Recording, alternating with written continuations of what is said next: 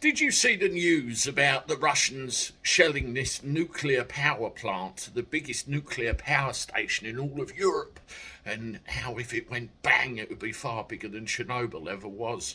That news article alone tells me all of this is getting way out of hand. It doesn't matter, you know, what side of the narrative you believe or what you're looking at, it's a very dangerous situation and it's getting worse and worse.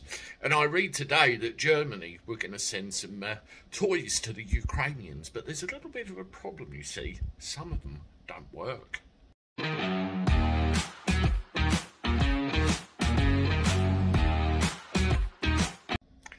How do everybody? Welcome back to the channel for Friday. Hope you're doing all right. I'm not too bad. Not too bad myself. Well, Ukraine, it's uh, still ongoing, isn't it? And, uh, you know, it's got the potential to blow up in everybody's faces big time, no matter what side of the narrative you look, uh, look at and what you choose to believe.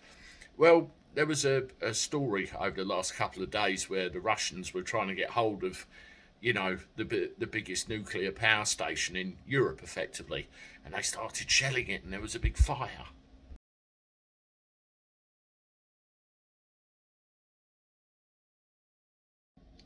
Well, according to all the press, the Russians have now got hold of it, and the fire apparently has been extinguished and didn't go anywhere near any uh, safety devices or anything like that within the complex. So, thank God for that. Whew sigh of relief.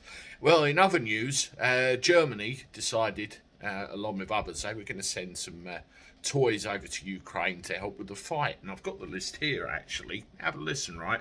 Uh, a shipment of a thousand anti-tank rockets, 500 fully operational Stinger anti-aircraft missiles, all safely delivered this week. And they were going to uh, follow it up with a delivery of 2,700 Strela missiles. That sounds like a lot, doesn't it? Well, there's a little bit of a problem, you see.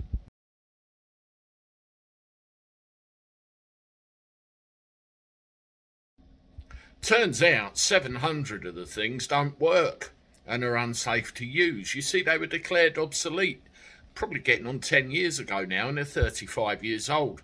They've been in storage ever since, and some of the wooden boxes they're stored in are so corroded they're starting to fall to pieces, and there's signs of corrosion in the missile systems themselves. They, they're just no good, they won't fire. And some of the people who go and inspect them have to wear protective equipment. Yes, not great. There you go. Anyway, I'm off. I'll see you soon with another one. Toodaloo.